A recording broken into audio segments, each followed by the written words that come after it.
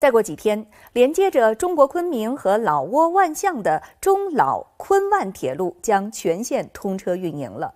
那么届时，乘着高铁从昆明至景洪仅需要三个多小时，到老挝万象也将实现当日通达。目前，中老昆万铁路国内段正在进行车辆试运行。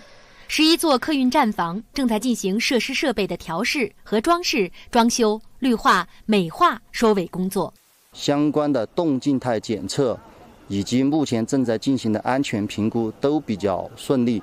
那么下一步我们要进行的是，呃，按图行车，提前模拟和演练相关的应急方案。中老昆万铁路共设有四十三个车站，国内段分别设峨山站、华念站。沅江站、墨江站、宁洱站、普洱站、野象谷站、西双版纳站、橄榄坝站、勐腊站和磨憨站十一个车站，因为是国际铁路，旅客将实行两地两检的通关方式。到了磨憨口岸站呢，要先下来进行相应的边检海关的一个检验检疫，然后再上到列车上。那么，呃，到了莫丁之后呢？还是要采取类似的模式。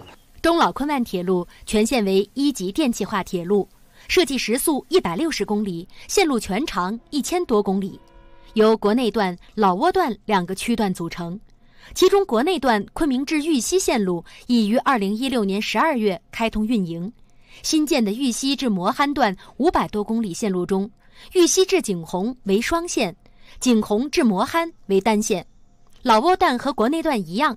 也是按照统一准轨标准设计建造，铁路货运将不需要进行卸货换装，能极大提高货运效率和通关速度。